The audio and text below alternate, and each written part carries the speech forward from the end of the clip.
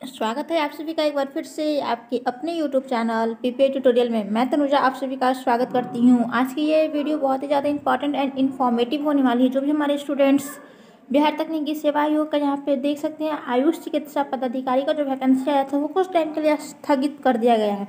अब जानिए क्यों स्थगित किया गया है, क्या है इसके पीछे का रीजन और ये जो नोटिस है, ये आप लोग देख सकते हैं कि ये बाईस तारीख को ही पब्लिश किया गया है। बाईस तारीख को ही आपके बी टी का ऑफिशियल वेबसाइट पर डाला गया है ठीक है?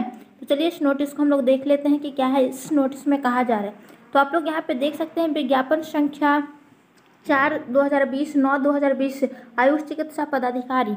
तो इसमें दिया गया है कि स्वास्थ्य विभाग बिहार पटना के पत, पत्रांक दिनांक ग्यारह एक चौबीस द्वारा आयुष चिकित्सा पदाधिकारी के विभिन्न पदों पर नियुक्त नियुक्ति हेतु प्रकाशित विज्ञापन संख्या चार दो हज़ार बीस से नौ दो हज़ार बीस अंतर्गत चयनित अभ्यर्थियों की अनुशंसा अनुशंसा तत्काल स्थगित रखे जाने का अनुरोध किया गया है।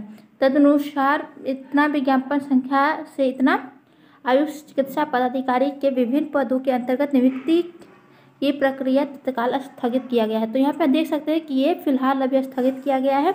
तो जैसे इस पर कोई ऑफिशियल न्यूज़ आती है तो आपको इस चैनल के माध्यम से बता दी जाएगी। अगर आप लोग हमारे चैनल पर न्यू हैं, पहली बार हैं तो आप लोग हमारे चैनल को प्लीज़ सब्सक्राइब कर बेल आइकन को हिट कर लीजिएगा।